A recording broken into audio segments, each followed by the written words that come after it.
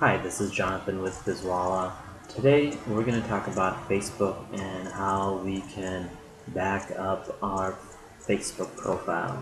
A lot of people have been asking about it and uh, I've just decided it's better to just do a video to show you how to do it.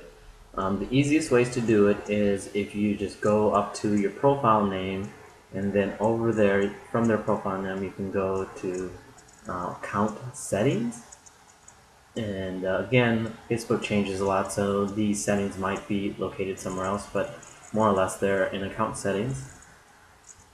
Once you go into account settings, you can see your profile information, and then you can go ahead and click on download copy. Now, in this situation, I actually did a pre-test just to make sure everything worked alright. Um, the profile uh, would basically said download um, or backup and Facebook will send you a um, email alert. You can also do expanded uh, archiving information so this is another option which will take longer but you've got more options but the main thing is there's a quick and easy way to download your backup profile.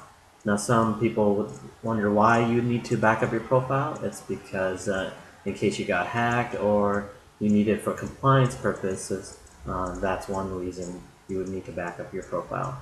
Um, we just discovered a company with no affiliation with them is um, Backup um, Fly, and uh, we thought it was an interesting proposition that they, they offered. So you can go ahead and check it out. You can use it for your other social network um, media as well.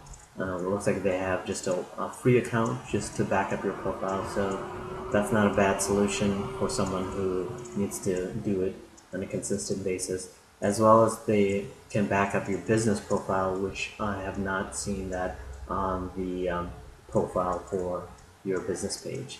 Uh, thank you for listening, and if you have any comments, please leave one on our YouTube video. Thank you.